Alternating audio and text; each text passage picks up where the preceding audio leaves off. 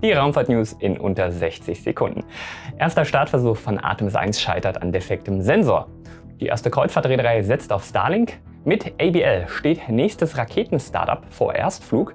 Rocket Lab testet wieder gelandetes Triebwerk und SpaceX zündet erstmals mehrere Raptor-Triebwerke an, Booster 7. Das und mehr mit allen Hintergründen klären wir heute in den Raumfahrt-News.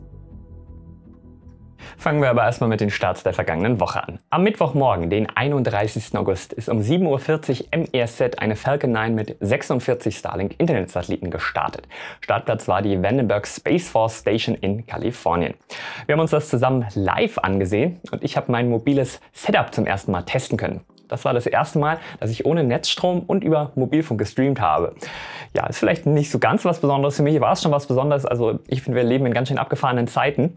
Und ja, theoretisch kann ich jetzt das mit dem Livestreaming auch von überall unterwegs machen. Wer weiß, vielleicht auch irgendwann mal über Satellit und dann wirklich von abgelegenen Orten. Ganz spannend, dass Elon Musk zu dem vorherigen Starlink-Start am 28. August auf Twitter schrieb, dass sie immer mehr Leistung aus der Falcon 9 quetschen. Bei diesem Start wären sie beinahe bei 17 Tonnen gewesen. Und das mit Rück Rückkehr des Boosters und der Fairings.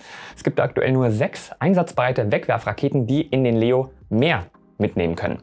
Atlas 5, Ariane 5, Proton M, Angara, Langer Marsch 5 und Delta 4 Heavy. Falcon Heavy habe ich hier mal rausgelassen. Ist klar, dass die mehr kann als die Falcon 9.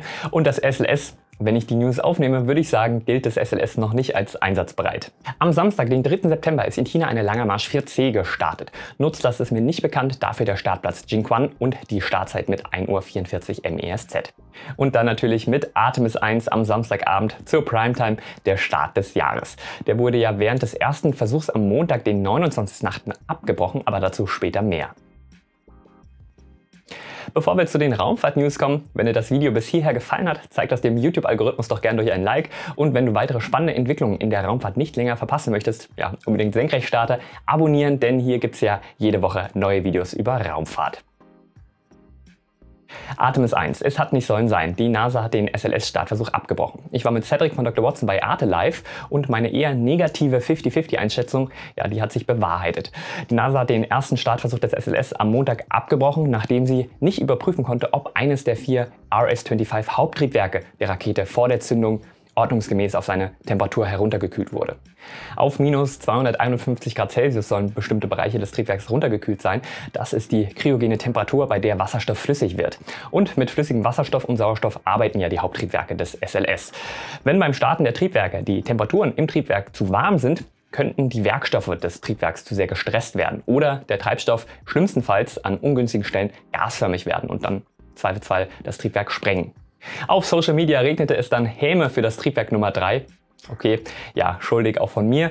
Tatsächlich geht die NASA mittlerweile davon aus, dass das Triebwerk ordnungsgemäß runtergekühlt hat, aber der Temperatursensor, der das messen sollte, einen schlechten Tag hatte. Da der Sensor nicht einfach getauscht werden kann und die NASA das Rückrollen der Rakete unbedingt vermeiden möchte, wird man, sollte der Fehler wieder auftreten und andere Sensoren und Anzeigen den Schluss zulassen, dass nur dieser Sensor ein falsches Signal zeigt, trotzdem weiter im Countdown laufen. Die NASA hat auch ein bisschen Stress. Die Rakete ist ja seit einem Jahr montiert und langsam gibt es Komponenten, die sich dem Ende der eingetragenen Haltbarkeit nähern.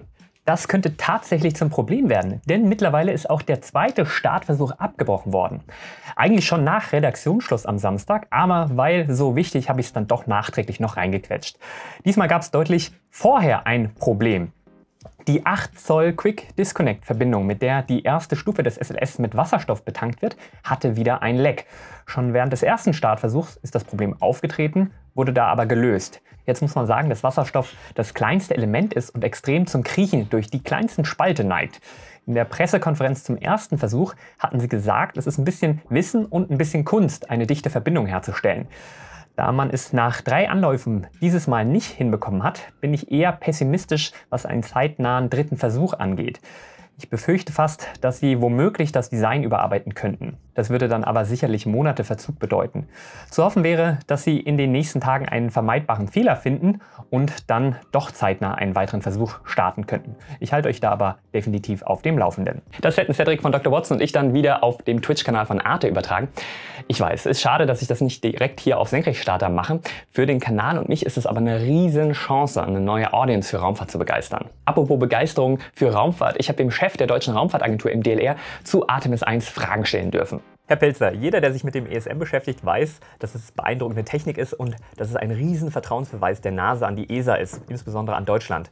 Für Menschen außerhalb der Raumfahrtblase ist es aber sehr schwer zu greifen. Forschung und Industrieförderung, da sind wir sehr, sehr gut. Trotzdem hält sich die Begeisterung in der breiten Bevölkerung für Raumfahrt in Grenzen. Was muss sich denn da ändern? Ja, was wir definitiv ändern muss, also erstmal eine absolut zutreffende Darstellung, ähm, könnte ich genauso unterschreiben. Was wir ändern müssen, ist, äh, darzustellen, wie wichtig Raumfahrt für unser tägliches Leben ist. Um noch weiter zu gehen, ohne Raumfahrt wäre unser tägliches Leben in der Art, wie wir es kennen, einfach nicht mehr möglich. Da reden wir jetzt nicht nur über Satellitenfernsehen, Telekommunikation und andere Dinge. Ich rede wirklich über auch Technologien, die wir in unserem Leben benutzen, anwenden, die aus der Raumfahrt kommen, wo kein Mensch eine Idee von hat. Und das gelingt noch nicht gut genug. Wir müssen da noch sehr viel mehr bessere, sehr viel bessere, sehr viel mehr Kommunikation machen, um den Leuten zu sagen, dass Geld, was in die Raumfahrt investiert ist, gut investiertes Geld ist. Wohl wissend, und das wissen wir auch, dass Investitionen in Lehrer, in Polizisten, in Sicherheit, dass das auch alles gut investiertes Geld ist, mit dem wir, ich sage sozusagen, im Wettbewerb sind und zeigen müssen, dass auch Geld in Raumfahrt fliegen muss, um die gesellschaftlichen Herausforderungen wirklich angehen zu können. Auch die Koordinatorin für Luft- und Raumfahrt der Bundesregierung, Anna Christmann, hat sich Zeit für meine Fragen genommen. Trotz der Aufbruchstimmung zum Mond, zum Mars, möchte Deutschland einen Fokus in der Raumfahrt auf die Erdbeobachtung legen. Das klingt jetzt nicht nach Flügen zu Mond und Mars und Entdeckergeist. Böse könnte man fast sagen, anstatt zu den Sternen zu schauen und zu neuen Horizonten, schaut Europa lieber auf sich selbst herab. Fehlt uns die Vision oder der politische Willen für Exploration? Also wenn man jetzt hier in Florida ist, dann spürt man Begeisterung für Exploration und da sind wir ganz stark dabei. Deswegen ist natürlich klar, dass Exploration ein wichtiger Teil für uns in der Raumfahrt ist und natürlich die Faszination der Entdeckung wirklich ganz neuer Dinge, die wir noch gar nicht erahnen, ist ein wesentlicher Bestandteil der Raumfahrt. Klar, Erdbeobachtung gehört für uns auch dazu. Dort sehen wir den Nutzen direkt für die Verhinderung der Klimakrise auf der Erde. Deswegen sind beide Wege richtig und wichtig und ich freue mich auf eine spannende ESA-Ministerkonferenz, auf der wir darüber diskutieren werden. In der Space Community in den USA wird das SLS oft als die letzte NASA-Rakete bezeichnet, weil es sehr teuer war, die Leistung eher bescheiden und keine großen technologischen Sprünge gemacht wurden. Ja, im Prinzip da ist es Shuttle-Technik, also aus den 70er Jahren. Ähnlich bei der Ariane 6. Ist die Zeit von staatlich entwickelten Raketen vorbei? Also ich würde jetzt nicht alles unterschreiben, was in, dieser, in diesem Statement steht. Ähm, ich persönlich würde mir wünschen, dass wir jetzt schon in dem Moment sind, bei dem wir als Raumfahrtagenturen nicht mehr hingehen und ganze Launcher entwickeln, sondern im Prinzip die Entwicklung einer bestimmten, eines bestimmten Services anfragen. Das heißt, dass wir nicht mehr den Launcher mit jeder seiner Stufen, mit jeder seiner Schrauben definieren, sondern dass wir sagen, wir möchten einen Launcher, der dieses oder jedes Marktsegment bedient, diese oder jenigen Fähigkeiten hat, um unsere institutionellen Bedarfe abzudecken. So sind wir, soweit sind wir leider noch nicht. Das ist das, wo wir zumindest aus Sicht der Deutschen Raumfahrtagentur hinwollen. Aber ich glaube, soweit sind wir leider noch nicht.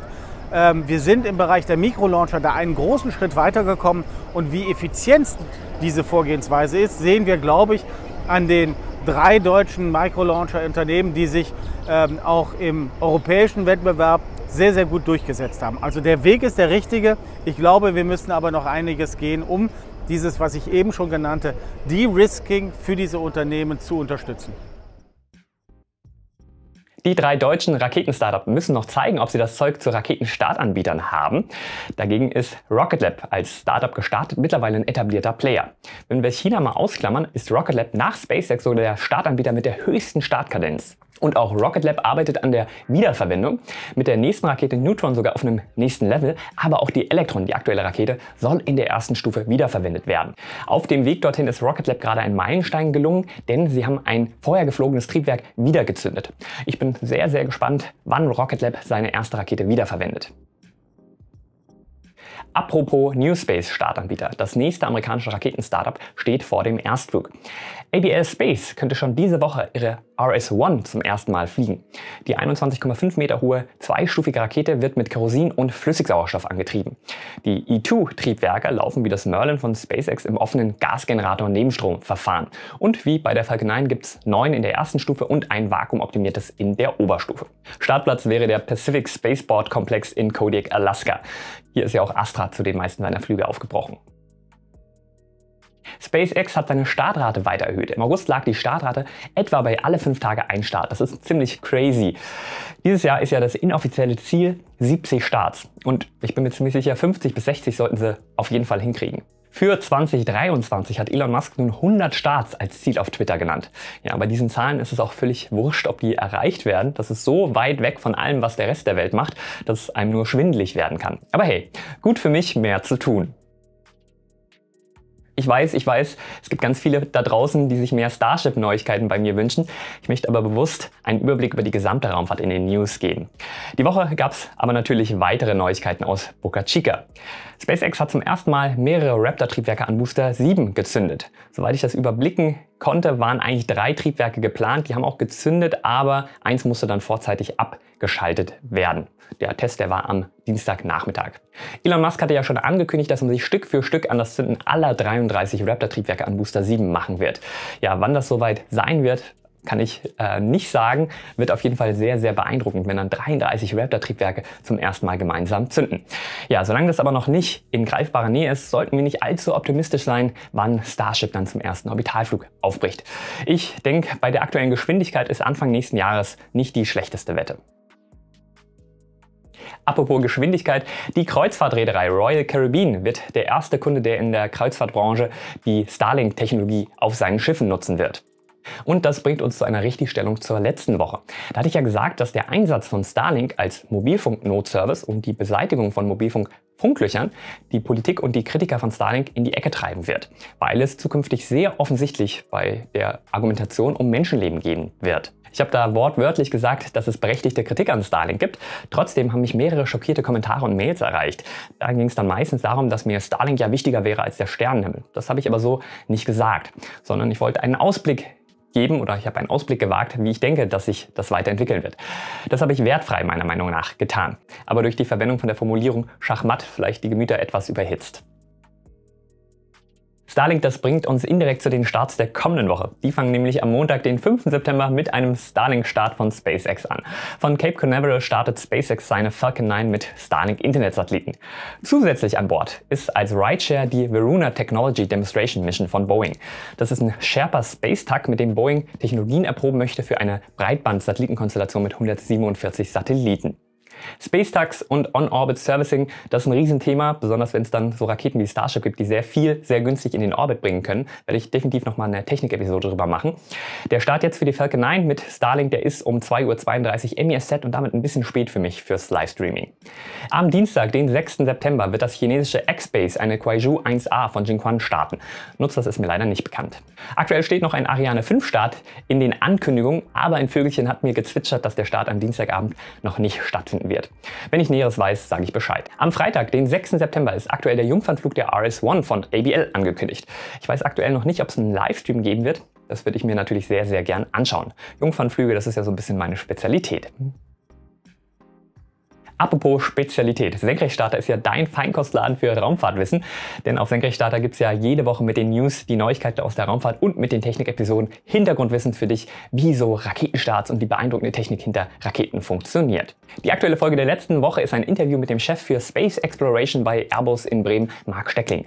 Spannendes Gespräch über das ESM, das European Service Module, was ja mit Artemis fliegt. Ja, und in dem Interview frage ich unter anderem, was eigentlich passiert, wenn das Starship von SpaceX erfolgreich zum Mond fliegt. Das Interview, das verlinke ich dir hier. Wir drücken euch hier in Europa alle Daumen für den Start. Ihr dürft jetzt schon ganz schön stolz auf das Erreichte sein. Wir wünschen euch eine erfolgreiche Mission. Grüße an das gesamte Airbus-Team und immer schön senkrecht bleiben. Danke, Mo. Schönen Gruß zurück nach Europa und immer schön senkrecht bleiben. Die nächsten Wochen werden wieder weiter voll unter dem Motto Artemis einstehen und ich denke, nie war es so angebracht wie heute, von unserem Apollo-Moment zu sprechen. Also der Moment, wenn die Menschheit die nächsten großen Sprünge da draußen unternimmt. Ich kann es kaum erwarten, wenn es dir genauso geht. Like da lassen. Ja, ich würde sagen, bis zum nächsten Mal. Immer schön senkrecht bleiben. Dein Mo.